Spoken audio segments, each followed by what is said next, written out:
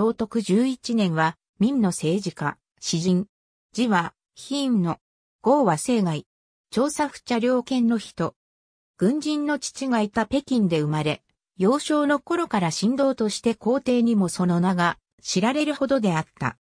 天音順8年に18歳で紳士となり、以後養殖を歴任して、内閣大学士、礼部少書、理部少書などを歴任した。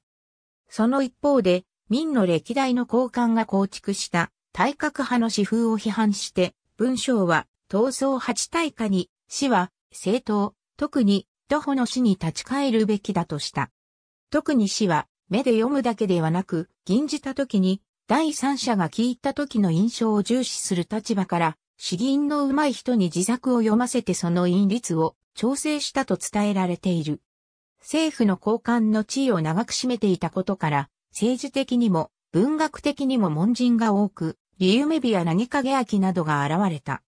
しかし、聖徳元年以降、内閣主タスクでありながら宦官である、劉金の専門に迎合したため、門人たちから決別されていくことになる。